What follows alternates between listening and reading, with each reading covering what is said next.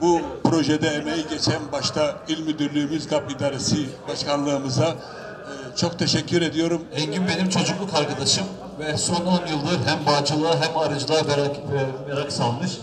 Ben kendisine bu e, kovanlı, arılı kovanları teslim etmekten mutluyum. Hayırlı uğurlu olsun. Tüm ilimize ve tüm arıcılarımıza bereketli olsun.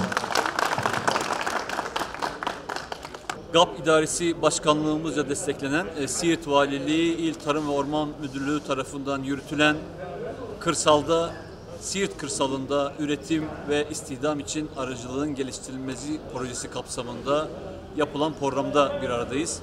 Bugün 295 arıcı ailemize 5900 adet arılı kovan dağıttık. Bu projemizin tutarı 11 milyon 221 bin liradır. Siirt e, 2500 tona yaklaşan üretimi ve e, 178 bin civarındaki arılı kovanıyla Türkiye'de en önemli bal üreticisi iller arasındadır.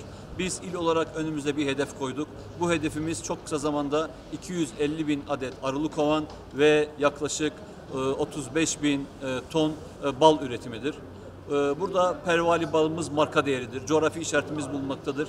Biz pervari balımızın yanında yine marka değeri olan ve kaliteli olan şirvan balımızı, siirt balımızı, kurtalan balımızı, eruh balımızı, tillo balımını tanıtımını yapacağız ve markalaştırma sürecine geçeceğiz. GAP İdaresi Başkanlığı son 5 yılda 29 adet proje desteği verdi. Bunların yaklaşık tutarı 28 milyon 500 bin e, civarındadır.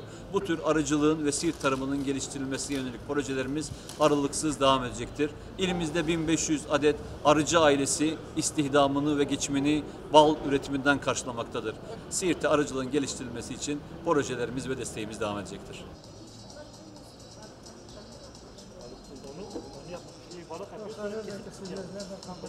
Ee, bu tür teşvikler sayesinde yüzlerce insan bu projelerden faydalandı ve öğretime katkı sundular.